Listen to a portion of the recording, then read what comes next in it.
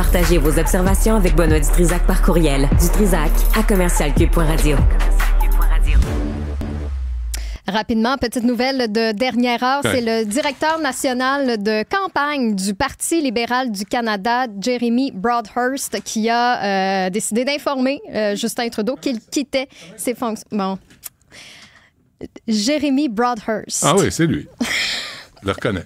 Est-ce que tu dis ça parce que pendant la pause, je me suis pratiqué du soin ou. euh, Qu'est-ce que t'en penses? Écoute, hein, des petits secrets de coulisses comme ça. je Euh, peux leur dire encore, Jérémy Broadhurst. Bravo. Euh, merci. excellent. Euh, qui- Il a sacré camp. Il s'en va, il punch sa carte. Il était en poste depuis 2019 et Ah ben. oui, il punch. euh, plus de détails sont, sont, sont à venir, mais euh, ouais, il a annoncé qu'il quittait officiellement ses fonctions. Ne La me quitte pas. Ah, tu ah, ben, Justin, il va pleurer, il va chanter du Jacques Brel, là. Un après l'autre. Ils vont tous fuir le, le navire.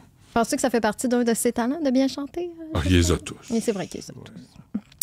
Euh, évidemment que cette semaine, on a tous été touchés par euh, le décès tragique des frères Johnny et, euh, Matthew Godreau.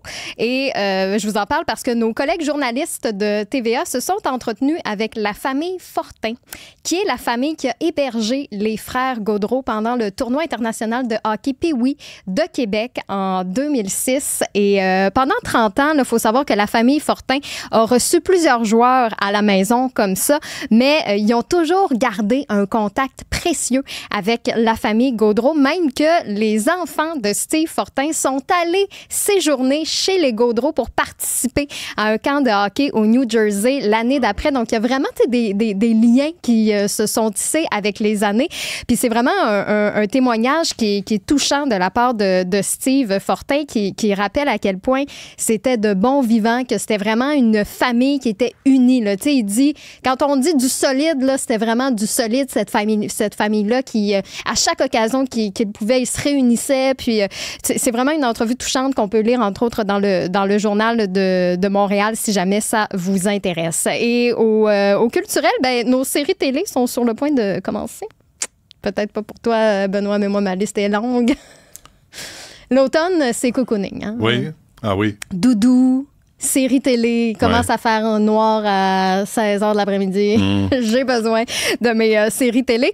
Comment vous trouvez euh, vos, nos comédiens? Comment vous trouvez nos acteurs? Est-ce que vous avez l'impression que les acteurs québécois mâchent de plus en plus leurs mots? Ben, Sophie Durocher va en parler d'ailleurs dans, son émission un petit peu plus tard avec Yves Desgagnés, acteur, metteur en scène, réalisateur. Donc, je pense que ça va être une entrevue à ne pas euh, manquer. Donc, restez avec nous, Sophie Durocher qui commence son, son émission dès 14 h. Parfait.